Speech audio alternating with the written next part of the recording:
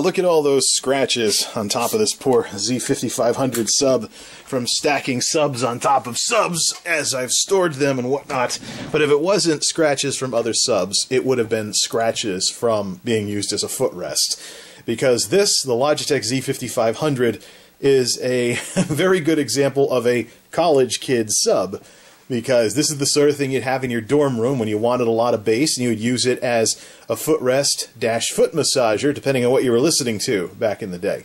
So I fired it up today to make sure that it still works, and it still works perfectly. Hey, the control module even still works if I want to use it in a 5.1 setup. The issue here is that I really don't have any use for this thing. If I put it under the desk, that's going to be a huge magnet, and then where do we put the computers? So I'm trying to find some use for this. One of the ideas I've tossed around is buying one of the bypass cables that makes the proprietary command module no longer necessary.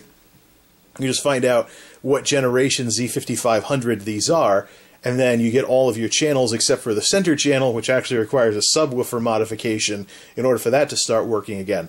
But I'm not interested in having this power an entire system. I'm actually thinking about what if we modified this to basically be a 188 watt powered subwoofer. So, and then hook it up with a smart plug and voice control so I can turn it on and off via voice commands and basically have a voice controlled powered subwoofer in my system. Sounds like a nice idea, except for the unfortunate fact that this thing was made for college kids wanting boomy bass in their video games, so not so much for music. Could work sort of for movies. But this thing, unfortunately, in its amp has a subsonic filter, which is which I've recently found out is the reason why, even though it's a 10-inch speaker, it doesn't go as low as the dual 8s in that Klipsch box that I have rewired as passive. So, trying to find some way to move forward with this thing and put it to use again, or I could sell it or something like that. But I think its best role would be as some kind of powered sub. As a as an actual system, the crossover would be way too high. The crossover on this thing is actually 150 hertz, which is far too high for a subwoofer.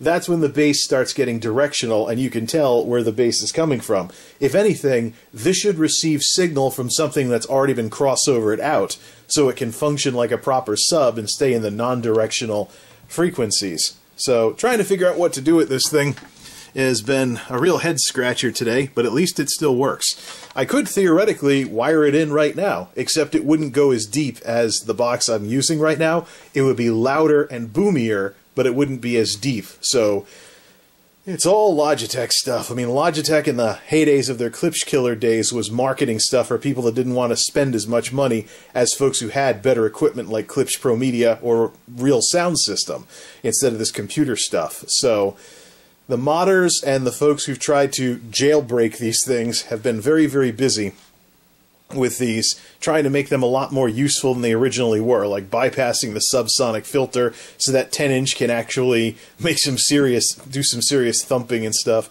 Subsonics, though, aren't there for nothing. Subsonics are there to prevent damage to the speaker, and from what I've seen, if this blows, it's really hard to get the grill and the front off in order to get at the sub without bringing in some pretty serious tools. So uh, yeah, I don't know at this point. I, I, may just want to use it as a powered sub, have it one and done, and then move on to a better box later on. Maybe get a bypass cable and stuff like that. While we're here, let's take a look on the amp plate so I can get it on video what the generation is of this thing. So if I want to go shopping for a bypass cable, I'll know what to get. Cool, this thing's still looking nice as always with its gigantic heatsink.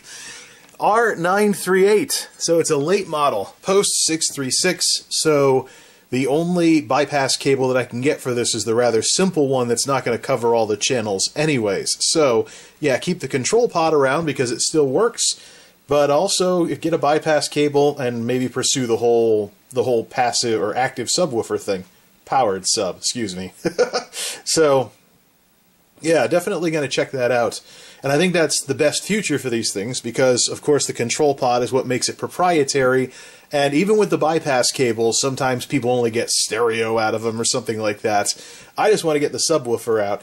And actually, I wouldn't even mind modifying the amp so that only the subwoofer part still worked if it's like that. Never taken this apart before, so I don't know. It'd be cool if we could cut the power consumption by turning off the other channels except for uh, sub LFE. I don't know if that's even possible with this amp, and I don't really want to tinker with something that still works perfectly fine, especially when I'm talking about voice controlling it via you know, smart plugs. So we'll check that out at some point later on. For now, it's definitely a curiosity of mine. So we'll do more with this thing later, maybe, if I can get around the fact that it's not as refined as the Klipsch box I'm using as a sub right now. But we'll figure it out. MultimediaJay out.